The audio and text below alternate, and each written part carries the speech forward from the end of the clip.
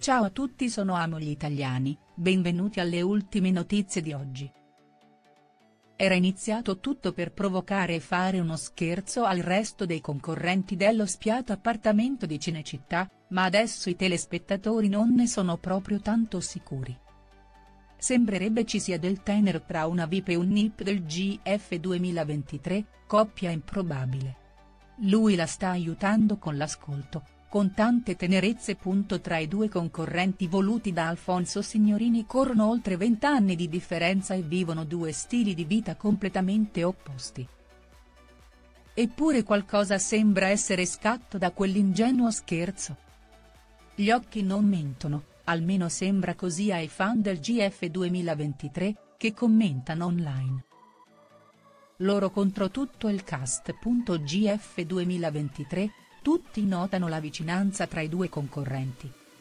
Potrà anche risultare antipatica, non si può piacere a tutti, ma Beatrice Luzio è in parte diventata il capro espiatorio del GF 2023.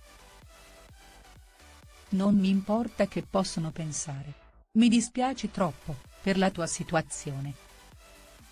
Dopo, magari, vado a parlarci e gli dico che non va bene, devono trovare un compromesso.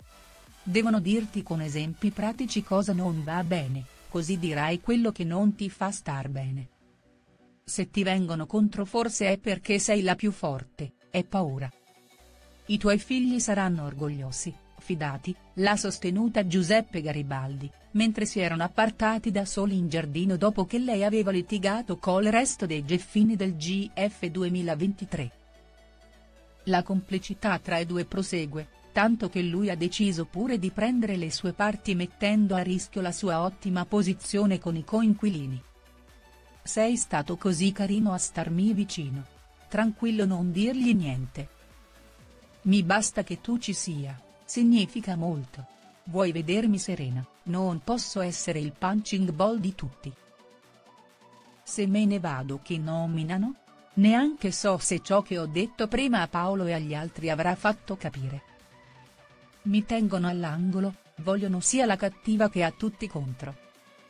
La cattiveria in chi pensa certe cose, si è confidata lei. Raga sta succedendo sul serio? Piano, è amore, i commenti di diversi fan su Twitter. Cosa ne pensi delle notizie di cui sopra? Ti preghiamo di mettere mi piace e commentare la tua opinione in modo che possiamo discutere.